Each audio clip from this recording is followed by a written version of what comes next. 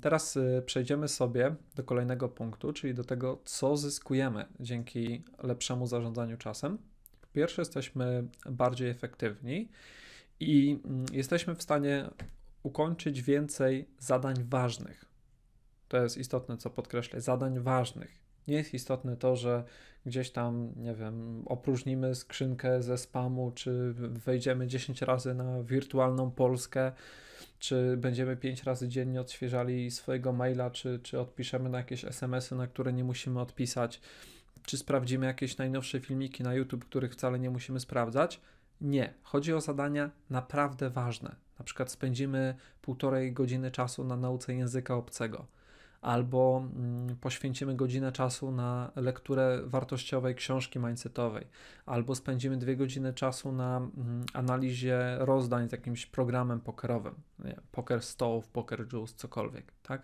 Także to są, to jest, jest bardzo istotna różnica między tym, że coś robimy, a rzeczywiście realizujemy zadania ważne. To powoduje jednocześnie większą satysfakcję i większe zadowolenie, i wzrost poczucia własnej skuteczności. Poczucie własnej skuteczności to jest taka wiara w to, że jesteśmy w stanie realizować mm, jakieś założone przez nas cele. Im wyższe jest to poczucie, tym jednocześnie łatwiej nam jest realizować określone cele. Czyli yy, no to jest taka trochę na zasadzie efektu yy, kuli śnieżnej. Im lepiej będziemy zarządzać czasem, tym więcej będziemy realizować zaplanowanych zadań, tym bardziej będzie rosło nasze poczucie własnej skuteczności i tym łatwiej będzie nam w przyszłości osiągać kolejne cele. No i w końcu mm, ostatni punkt. Niektóre y, z technik, które dzisiaj mm, omówimy, spowodują również wzrost koncentracji. Powiedzieliśmy sobie to chociażby w kontekście monotaskingu czy multitaskingu, tak? Już wiemy o tym, że skupiając się na jednym zadaniu w jednym czasie, będziemy w stanie zwiększyć swoją efektywność i jest to związane właśnie z koncentracją, dlatego że koncentrujemy się na jednym elemencie, a nie kilku. No dobrze, idziemy w takim razie dalej. Teraz y, mam dla Was kilka najważniejszych technik dotyczących organizacji czasu.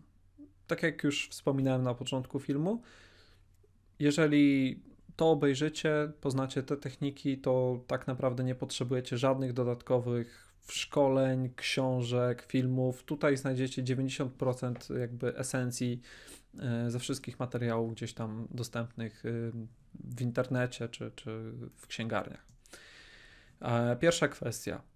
Planuj dzień najlepiej przed pójściem spać wieczorem poświęć na to 5-10 minut. W przypadku no, pokerzystów jest to trochę prostsze, tak, ponieważ e, nie mamy aż tylu zadań i znaczną część naszego dnia zajmuje sesja. W zależności od tego, czy jesteś graczem średnio zaawansowanym czy zawodowym, sesja może zajmować i 2 godziny dziennie czasu, 3, a może i zajmować 6-7.